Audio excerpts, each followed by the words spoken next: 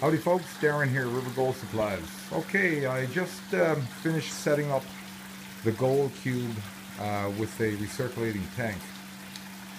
We have it here running in the store and uh, we have a lot of people coming in and cleaning up the concentrates. Uh, so we uh, decided we would set up the cube for, uh, for the most part permanently. So I'm going to give you a little rundown on uh, what I got going on here. So on one end of the tank we have an area where you can set your pail and uh, that way uh, you know you have your concentrates and you don't have to be bending over to, to get your cons out of the pail and feeding it into the top here. So it's, uh, it's, it's, it's just right beside it.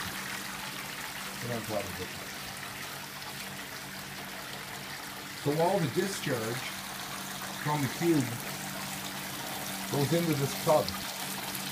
And this tub is suspended in the reservoir. The reservoir being the large tank that you see sitting on the floor. So as your uh, as your cons exit the cube after the gold has been out, what you have here is your uh, your tub that you can uh, dump later and uh, and get rid of your cons and uh, repeat the process.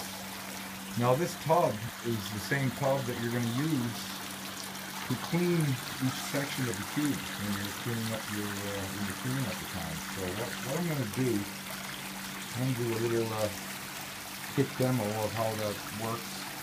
First of all, I want to have you a closer look inside here. Can see how uh, the tub is designed. On one side it has a, a sharp point so all the water runs out. And at the opposite end, you have uh, the discharge from the tube. So what we're going to do, we're going to unplug the pump, and I'm going to show you how exactly that is going to work. Okay, here we go. I'm here by myself, so don't have anybody to pull the plug from me. But anyway, there you have it. This is uh, this is the tub that everything uh, that all the water's been uh, discharging into. So basically all you really need to do is to pull that forward and tip it up. And this is how uh, this is how you're going to dump, uh, dump all the water out so you can uh, put your cons that came out of your cube into a pail. Now the pail can sit right here, which makes it really easy, you know, and you don't have far to go to dump it. So again, that uh, that tub uh, in, inside the reservoir has two uses, right? So, okay, what we're going to do, I'm going to take the top part off here. Set it here. This is a little shelf. Uh, this is sits over the top of the reservoir. It's, it's the area where I have my pail. Uh, again, it's, uh, it's not a bad spot to just lay uh, the top of the cube so you can rinse out the, uh, the rest. So basically I want to get one piece here So basically what happens when it comes time to clean up your cube, you're going to have the the, uh, the, layers of the cube suspended in the, uh, in the tank. And this way it's the same tank, uh, you know, same tank that your uh, cons run into, the stuff that you're going to throw away. After you clean it, you can just uh, let it refill with water and then you can rinse out your cube.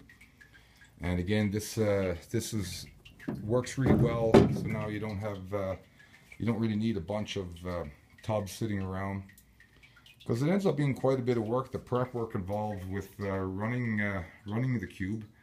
The cube works great. I love it. But uh, when you can contain all of it in one unit, it really really makes it more efficient to use. So this is this is the latest item, the latest entry at the store here. And again, uh, in the past, uh, people have been coming in using the Miller table on the same type of a uh, self-contained system. So we have this other one just sitting right beside it.